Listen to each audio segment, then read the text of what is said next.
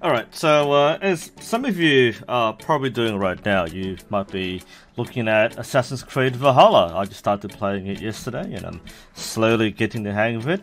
But of course, as the archery channel, uh, my focus in enjoying and playing this game is to examine the archery side for the upcoming uh, archery pop shot episode. I've done this for uh, Origins and Odyssey, um, and of course Valhalla. It makes sense you want to cover uh, Viking or Norse archery, but I know this is a fantasy game. It's historical fantasy. It's fun when you think about it that way, but what the hell is wrong with the bows in this game?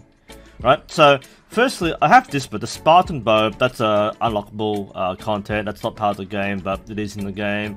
You start with this bow. This is a Hunnish bow.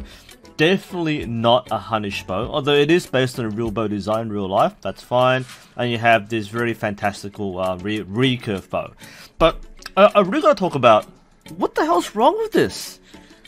Look at this. I mean, I, I thought this was like when you have this, it appears on your back and you think, oh yeah, it's probably like being carried on your back than strung across your chest. So I kind of get why they might not do that for the sake of not having too much clipping on the character model.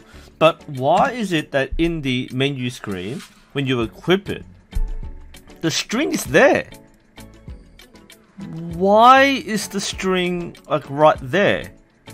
I mean, it's a physical impossibility for one, but like there, ha there has to be a visual glitch, uh, which says a lot about the state of the game on release. But like, what? Why it looks so dumb? And then you have same thing over here. Like it is, the string is here. That has to be a coding error. But the the biggest and most egregious area is this. This is the a recurve bow. It says here recurve bow. Now a recurve bow, this is a recurve bow. See, the limbs bend away and bend back. That's a recurve bow. Even this is a recurve bow. This is a freaking straight stick. It's a wooden stick with metal plates on it. How is this a bow? This does not make a single bit of sense. Like, like, how do you even pull the string back? The only way this actually works is if you have an elastic band uh, the, the more you look at it, the worse it gets. Because the strings attached to these metal eyelets, like, how does it, uh, how is it meant to bend? Because all the all the parts which are meant to flex on a bow are covered in metal. What is this? I mean, that brace height, like, you can't even pull the string back.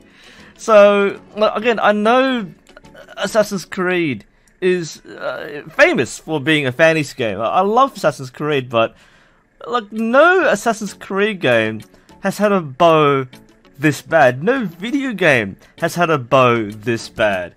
So I don't know whether the rest of these things are visual glitches, because when you when you hold onto them in real in the game, they, they look fine. Okay, so let's let's on a shot. You can see, oops, um, you can see that the string is fine, okay? So that at least does look and function like a real bow. And, and it is a real bow, a bit decorated with metal parts, but it is a real bow. But when you have... When you have this... Like, how? I mean, how? Uh, I don't mind the fact there's an iron sight on here. That makes that makes no sense. But that that's that's that's the predator bow. But why does it look like this? Why does the bow look like this? It's a it's a metal rod. That is not a bow. That is absolutely ridiculous. There is no way that this bow would ever function in real life. Sorry, um, I know you might like the game, and um, it, to be fair, it is just one part of the game. There's the rest of it, which is pretty fun. But uh, in terms of bow design, designers, what what were you thinking? W what is this?